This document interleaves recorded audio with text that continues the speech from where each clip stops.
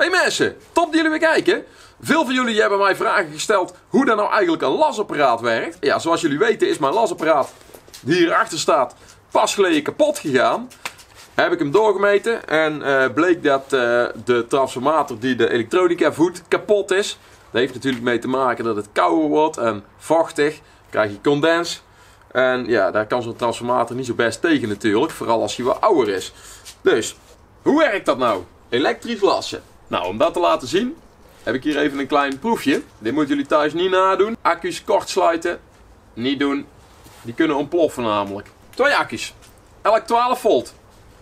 De plus van de ene naar de min van de andere. Dan mag je ze optellen. Krijg je 24 volt. Hier zo. Deze koppel ik hier aan. Deze koppelen we hier aan.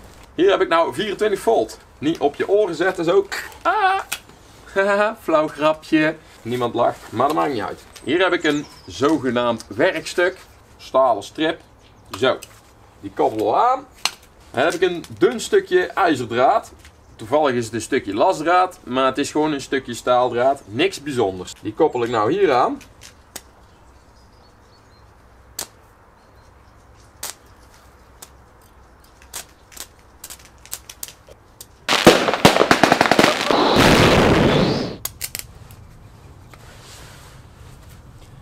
Zo. Vakkundig glaswerk.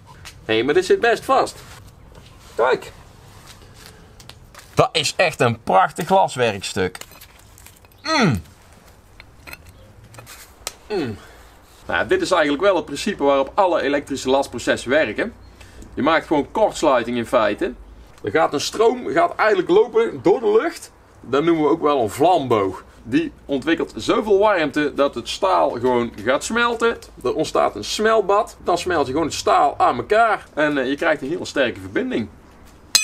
Zo simpel. Laten we nou gaan kijken naar het echte werk, want er is nog meer. De transformator zit er weer in. Kijken wat er gebeurt. Ik zie nog nergens rook uitkomen.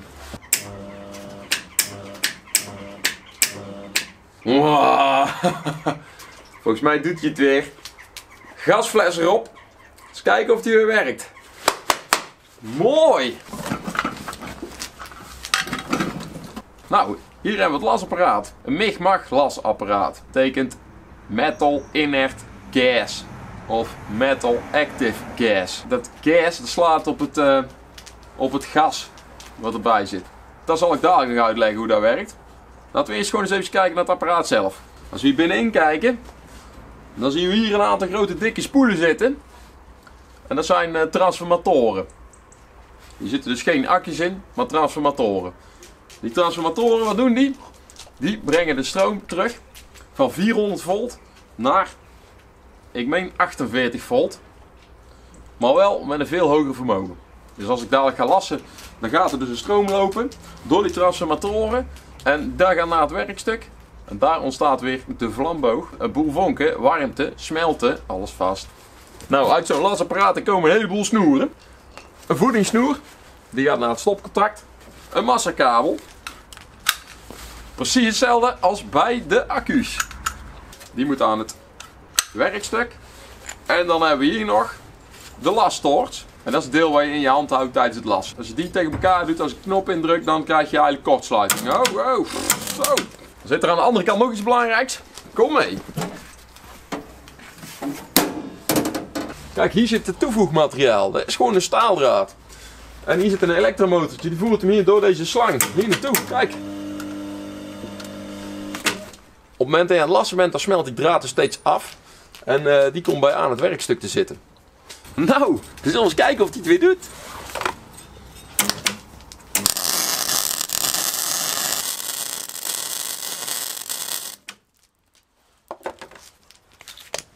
Wat een lelijke braai. Dit is een hele lelijke las.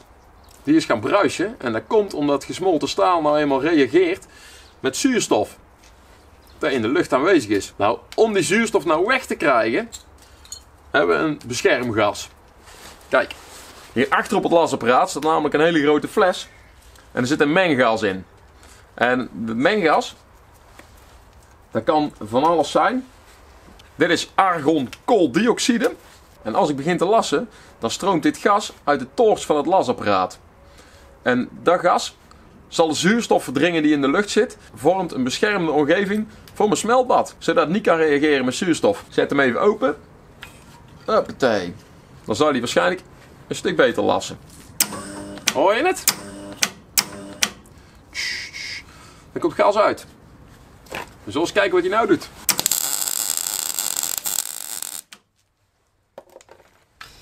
Zo. Dat ziet er een stuk beter uit. Die bovenste twee lassen die zijn zonder gas. En die onderste is met gas. Zie je hoe mooi glad oppervlak deze heeft? Perfect. Nou, verder zitten er nog een heleboel knoppen op zo'n lasapparaat. De belangrijkste zijn eigenlijk wel deze. Daarmee kun je de stroomsterkte regelen. Dus voor dun laswerk pak je lage sterkte. En voor zwaar laswerk, voor dikke stukken ijzer, dan pak je natuurlijk een hogere stroomsterkte. Want als die stroomsterkte namelijk hoger is, dan krijg je meer hitte, krijg je een diepere inbranding, krijg je dus een betere las. Gebruik je nou een hele hoge stroomsterkte voor dun plaatwerk, ja, dan vallen gewoon de gaten erin, dan smelt het helemaal weg. En dan uh, heb je alleen een groot gat en geen las. Nou, verder. Hierboven. Nou, volgens mij is de inkt niet watervast. Het is eigenlijk niet de bedoeling dat je dit ding buiten gebruikt, denk ik. Maar ja, we hebben weinig keus. Het is niet anders.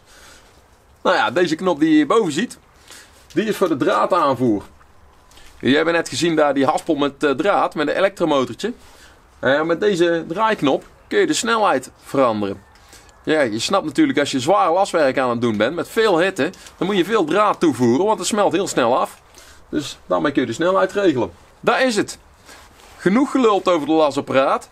Ik schroef die deksels erop en ik ga gauw die rolgolf aflassen als jullie het goed vinden. Want anders dan gaat hij niet meer deze jaar rollen, ben ik bang. Hey, bedankt voor het kijken en tot de volgende!